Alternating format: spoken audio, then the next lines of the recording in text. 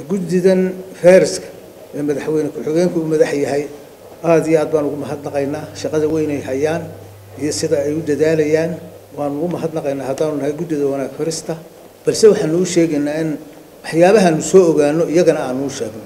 Waxyaabaha waxaa ka mid ah waxaa jira dhallinyaro isugu tagta guryaha oo tidhaaha hiddaa iyo dhaqan baanu ciyaaraynaa oo badan oo magaalada meel walba ka furan. Inana waxay guddidu tidhi yaan laysu imani oo laysugu tegin meelaha caynkaasa guddida aqaladaas way camiran yihiin waxaanay ku doodayaan hidda iyo dhaqankii baanu ciyaaraynaa wasaaradda hiddaa iyo dhaqanka iyo ciyaaraha ayaa warqadna siisay oo aanu haddii waxay ka soconnaa markaanu ahno waar waxaan iska daaya waa wax aan hagaagsanayni ummadduna waa laga mamnuucay in meel laysugu yimaado.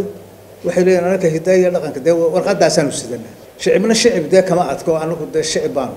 Arrintaa waxaanu leenahay waxaa laga qabto oo dadka ha la kala kaxeeyo oo wasaaraddu ha soo saarto amar inta xanuunkanu jiro aan laysugu tegin guryaha ah oo ay maxay ahayday aan laysugu tegin. Haddii laysugu tago dee halkaasaaba xanuunkiiba ka soo baxaya.